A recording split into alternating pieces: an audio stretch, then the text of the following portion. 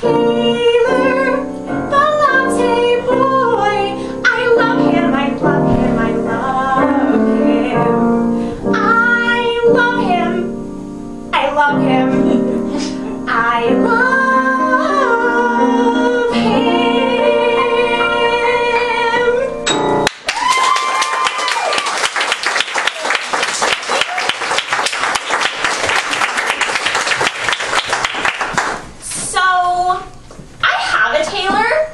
Uh, except, instead of meeting him while he was at work, I first met my Taylor while he was on his break from work.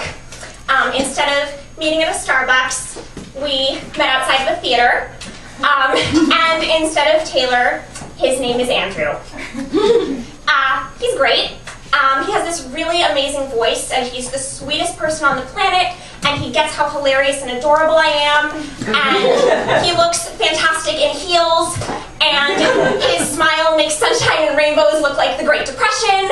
Uh, I believe that there's no limit to what he can do. And I say that because he actually helped me out during a really, really tough time. Um, I've always been super loyal, and that's always been one of my favorite qualities about myself.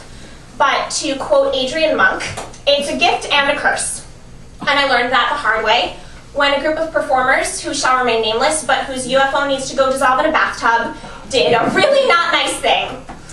Um, my confidence plummeted, and this loyalty that I'd always been really proud of became something that I suddenly didn't want to be open about. But this person that I had just met a few months before the incident. Um, he's done something incredible uh, without having to say anything, without even realizing it, just by being his amazingly kind self. He helped me remember, continues to this day, two years later, to help me remember that they suck. There are a lot of people out there that don't suck, and loyalty is a thing to be proud of.